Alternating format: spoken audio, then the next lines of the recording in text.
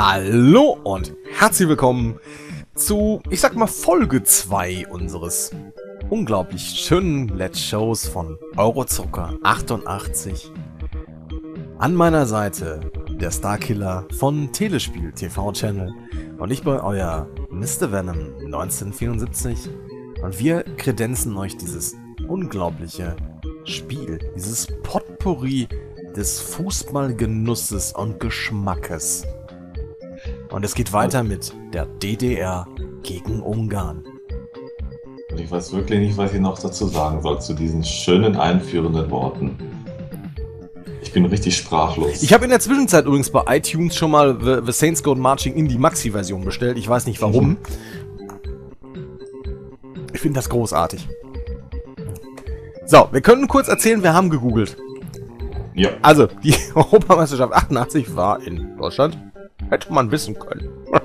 ja, ja wäre besser gewesen auf jeden Fall. Und die Niederlande ist Europameister geworden. Und ich kann, konnte mich dann sogar noch an das Halbfinale, natürlich Deutschland, Niederlande, das hört ja immer 2 zu 1 auf, ähm, erinnern. Und ja, da war dann irgendwie auch noch was, wo sich, glaube ich, Ruth Gullit, glaube ich, auch wieder ganz groß verdient hat mit tollen Aussagen. Das wird ja immer gern gemacht. So, äh, äh also Pannen-Olli wäre besser mittlerweile. Äh, ja. Und bevor er das will, nein, ich mache das nicht mit Absicht, sondern ich will hier schon gewinnen. Spielt das Spiel einfach mal selber. Mhm. Gibt ja den einen oder anderen, der spielt gerne mal Fußballspiele, macht auch komplette Seasons. Mach das doch mal hier. So, komm. Nein! Boah, das ist knapp. Das war knapp. Hast du noch gerettet. Mein Gott. Ja, da soll noch einer sich beschweren. Das ist hier mal richtig, äh, das geht hier richtig auf die Pumpe, das Game. Mhm. Das muss mal einer schaffen, würde ich sagen. Aber ich finde auch wirklich klasse, wie, der, wie die Ballführung hier ist, ne? Also, das ist das großartig. gemacht, gelöst alles. Oh, jetzt, jetzt fliegt der Ball aber mal ganz weit.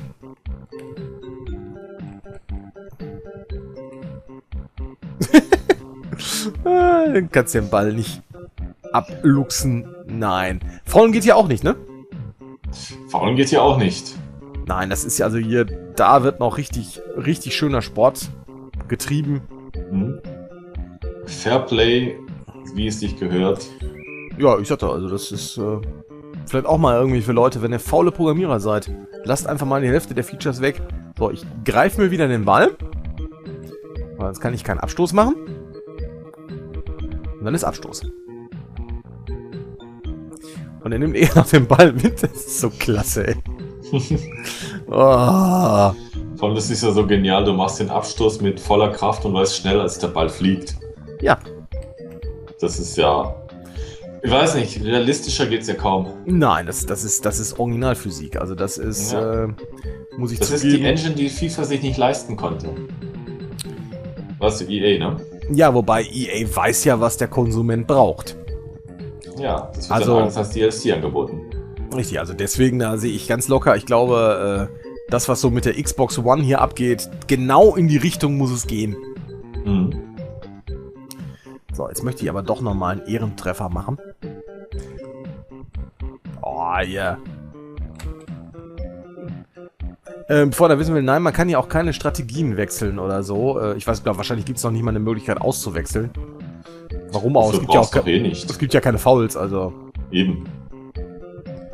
Und irgendwelche Skill-Level haben die auch nicht. Ich glaube, die sind auch alle gleich, außer dass die KI gefühlt immer ein bisschen schneller ist, aber. Mhm. Und die KI weiß ja schon, wo du hinläufst und ja, ist auch vernünftig. Äh, reagiert entsprechend. Ja, und du siehst, äh, die Abwehr reagiert nicht. das war mal richtig hier, Profi-Torwart. Immerhin, der dritte Torwart richtet's. Also wenn das äh, einer äh, professionell kennt oder als wobei die wenigen Leute, die das gespielt haben. Ähm, wenn ihr aber wirklich Profi in diesem Game seid, ich möchte das, äh, ich möchte Tipps. Also, ja. wenn ihr mir sagt, wie ich hier Europameister werden kann, ich tu das. Ich lasse aber die Musik laufen. Komm, halt ihn! Oh, super. Er wirft er sich in den Dreck. Was keine... eine Parade! Das ist also... Also im Augenblick, äh, jetzt klappt zwar fast mit der Abwehr, gut, ich liege auch schon 2-0 hinten, aber es klappt mit der Abwehr. Äh, aber jetzt klappt es überhaupt nicht mit dem Sturm. ich sehe schon, vielleicht kann ich im dritten Spiel tatsächlich 0-0 halten. das wäre doch schon mal ein Erfolgserlebnis. Mal einen Punkt mitnehmen. Ah, es ist großartig, also. Weil immerhin zwei Tore hast du schon mal geschafft.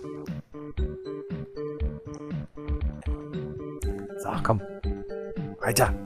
Weiter, weiter, weiter, weiter, weiter, weiter. Und raufhalten. Rein, einfach rein, einfach rein und. das hat so, also ich glaube, jede E-Jugend, glaube ich, äh, würde die Leute hier auslachen. ich denke mal, selbst eine Kindergartenmannschaft, die einfach nur hinter den Ball herrennt, ohne zu wissen warum, spielt das besser. Oh, ist schon Halbzeit. Ah. Ja, es ist so, ich glaube, das ist das Ungarn von 54, ne? Weil sonst in letzter Zeit habe ich von Ungarn nicht so viel gehört im Profifußball, aber vielleicht spielen wir ja hier auch ein Best-of aller Nationalmannschaften. Ja, das Wunder von Bern, wo noch Ungarn richtig stark war. Hm, ja. Ja, weil die spielen unglaublich dicht im Mittelfeld. War nicht, ich glaube, Lothar Matthäus war da auch schon mal Trainer in Ungarn, ne? Mein Gute, war es war eh bei jeder osteuropäischen Mannschaft, glaube ich, aber ich glaube, das ist Bedingung. Gebt ihm eine Frau, dann wird er Trainer. Mhm, genau, anstelle von Geld will er eine osteuropäische Frau haben. Genau, aber bitte nicht älter als 16. Natürlich nicht. Weil die muss ja mit ihm noch alt werden. Äh, genau, sie muss ja als seine Enkelin durchgehen. Ja gut, kriegst du mal, kriegst du mal Karten im Zoo und so, also. so gesehen, das hat auch irgendwo Vorteile. Ja. Ihre Frau kommt noch rein für einen halben Preis. genau. Ah, du, ist das richtig? Man kann hier nicht mal kontrolliert die Spieler wechseln, ne? Ah. Das habe ich bis jetzt auch nie geschafft. Mein Gott, ey, das ist... Das ist fast wieder Micropost Soccer, nur ohne Spaß.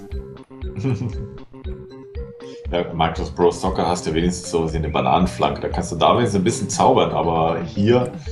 Ähm, ich bin einfach sprachlos momentan.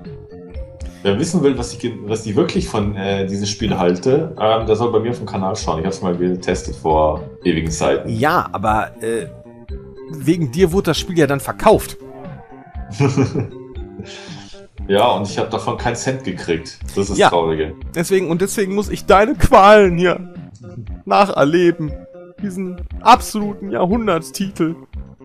Was mich jetzt aber interessieren würde, ob die Käufer des Spiels damals den Hersteller auf, auf Schmerzensgeld verklagt haben. Mm, warum nicht? Also ich gehe davon aus, irgendeine Zeitung hat das Spiel bestimmt als Spiel des Jahres gewertet. Obwohl das, deine Meinung? Obwohl, das weißt du doch immer. Das ist doch genau. Hat nicht irgendwie äh, die ASM oder die Powerplay oder was es da zu der Zeit noch alles gab, das nicht hier als Jahrhunderterfolg da musst du dich enttäuschen. Die waren da ausnahmsweise mal einig, die beiden. Oh. Oh. Aber es ist ja auch selten, dass Briten kein Fußballspiel hinkriegen. Ich meine, die können es selber im Augenblick ja. nicht mehr spielen, aber. Weil hier kannst du ja auch nicht mehr machen, außer Kick and Rush. Äh, ja. Du kannst ja keine Strategie aufbauen, gar nichts. Obwohl, das ist eher Kick and Walk oder so, ne? Äh, Kick and äh, Gehen. Oh. Boah, toller Flug. Leider in die falsche Richtung. Äh, liege ich schon 6-0 hinten? Ich zähle gar nicht mehr. Also ich meine, äh, auf jeden Fall könnte eins uns nicht beschweren. Ihr seht hier eine Menge Tore. Mhm.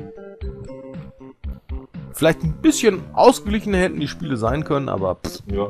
sind wir nochmal ganz ehrlich. Na, also ihr seht ja definitiv pro Spiel eine wirklich hervorragende Mannschaft. Mhm. Und ein Mr. Venom. Was meistens immer Uah. Ein und. Ja, hast du das gesehen? Gemacht. Also, ich möchte kurz darauf hinwenden, also, wenn es etwas gibt, also, äh, ich ziehe meine Meinung zurück. Schreibt doch übrigens jetzt mal in die Kommentare, ob so langsam angeht, dass ihr euch, dass euch die Musik auf den Nerv geht. Ob wir es jetzt erreicht haben. Und in zwei Wochen schreibt bitte in die Kommentare, ob ihr die Musik schon aus dem Kopf rausgekriegt habt. Ich werde die jetzt überall reinmischen. genau. Exzellente Werbebotschaft, kauft euch das Spiel. Eurozocker 88. Empfohlen von Ratio Farm. Das ist übrigens doch was. Da gibt's doch genug harte LPler da draußen, die wirklich hart sind, die gesagt haben, wir haben jeden Schrott gespielt. Hm. Wir haben was für euch. genau, macht, macht Antwortvideos. Macht doch einfach ein endlos Let's Play, bis ihr den Titel habt. wenn ihr das Spiel verloren habt, scheißegal, spielt's nochmal. Genau, nach, denn wir das wissen ja... glaube so 10 zu 0 soll das stehen. Nach jeder Saison gibt's eine neue Saison. Hm? Ach, ist, der Spiel ist doch schließlich vor dem Spiel. Es ist immer eine Chance da. Ja, den Ball jetzt, hm. jetzt auch komplett zu mir spielen können, du Horst. Ist aber wirklich genial. Also ein Spiel, wo du nicht grätschen. Nee, war knapp, was ja. knapp dran. Elf, ja, ja. Achtung, hier, pass auf. Lustig, lustig, lustig. Hä? Warum 11 zu 0? Hm. Elf Freunde müsst ihr sein. Ha? Hä? Was hat zwei Daumen und ist witzig? Ha? Beschwerdebriefe gehen bitte an Mr. Venom 1974. Wir können, wir können jetzt nur anstimmen, das schöne Lied von Franz Beckenbauer mit Freunde sollen sich niemals trennen. Ja, genau. Oder das Lied von Knorr ist auch großartig. Aus seiner ersten Werbespots überhaupt, also. Sollen wir noch 10 Minuten über die Karriere von Franz Beckenbauer herziehen? Äh, die vor oder nach dem Fußball? Das, äh, das weiß ich nicht. Aber dieser Mann, der natürlich Weltmeister geworden ist, der natürlich als Trainer Weltmeister geworden ist und noch die Weltmeisterschaft nach Deutschland geholt hat. Frau Merkel, was machen Sie falsch? Meinst du denn, um mal was ganz Tolles zu machen, äh, es hat ja noch nie eine europäische Mannschaft in Süd, äh, Südamerika gewonnen. Meinst du, das wird sich 2014 ändern? Ist jetzt schwer zu sagen. Ich weiß es natürlich nicht, wie die Mannschaften sich bis dahin entwickeln. Ja gut, also wenn Wir Messi... nicht wer alles dahin fliegen wird. Also wenn Messi so weitermachen wird, dann kannst du Argentinien wegstreichen. das kannst du so oder so. ja, dann bleibt hier eigentlich nur Brasilien. Ich tippe mal nicht auf das Comeback von Uruguay. 80 Jahre später. Glaube, das würden sie höchstens dann packen, wenn es so die letzte WM überhaupt wäre. Und da schließt sich der Kreis. Ach, das, das war auch irgendwie geil. Das habe ich auch irgendwie gelesen, ne? dass irgendwie eine Menge Mannschaften zu den ersten WMs gar nicht hingefahren sind. Ne? Mhm, genau. Weil irgendwie macht keinen Sinn. Nö, ist vernünftig. Vernünftig. Das ist richtig. Das ist so gut. Das ist. Wie gut, dass Politik nichts mit Sport zu tun hat. Hm, nö, das sind zwei völlig verschiedene Dinge. Wie kommst du darauf, dass sie da irgendwas Gemeinsames haben? Bist du bereit für das wahrscheinlich letzte Gruppenspiel? Ähm, also es wird definitiv das letzte Gruppenspiel Kann man sein. dieses eigentlich, du bist doch Aber Profi, kann man dieses... nicht das letzte. Konnte man dieses Spiel eigentlich auch im äh, äh, 1 gegen 1 machen, gegen menschliche Spieler? Du, wenn es die Gruppenauslosung das so, äh, ja, sagen wir mal, bestimmt hat, dann ging das. Da saßen zwei Deppen vom Computer, haben das gegeneinander gezockt. Ja, stimmt. Es gibt ja noch nicht mal eine Möglichkeit hier so für so, für so ein Friendly oder ein Exhibition zu setzen, genau. Nö, du kannst ja höchstens die beiden Spiele in eine Gruppe reintun. Ja. Großartig, Freunde. Großartig. Jetzt, ich liebe auch, wie viel Modis du hier hast. Also, da ist alles drin. Ja, das kannst du an einem Finger abzählen. Gut, dann sage ich mal, dann beenden wir hier mal Video 2. Ja, und äh, es gibt noch ein drittes Video. Und The Saints Go Marching In. Stellt euch noch so im Hintergrund so eine Dixie-Band vor. Das ist übrigens auch schön auf irgendwelchen Weihnachtsfeiern. Dann habt ihr meistens immer die, die spielen genau das. Die spielen auch nur einen Song. Und den dann acht Stunden lang. Da hilft kein Glühwein der Welt mehr. Günstige Waffen gibt's bei Ebay. Ja. Obwohl gibt's da auch diese ganz bekloppten, immer gut, über, über Radiospots, da könnten wir eine ganze Folge machen. Also, äh. das Schönste ist, mehr als genug. Das Schönste ist irgendwo der Kicklied, äh, das Kicklied irgendwie. Ja, wir sind bei Kick und alle glücklich und halalala. Und da denke ich mir immer so, jetzt müsste man die Bilder aus Bangladesch drüberlegen. Und dann gucken wir nochmal.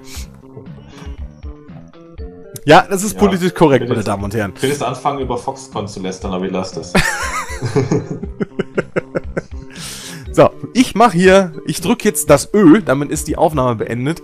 Möchtest du noch einen schönen Satz sagen? Äh, drück Ö bitte.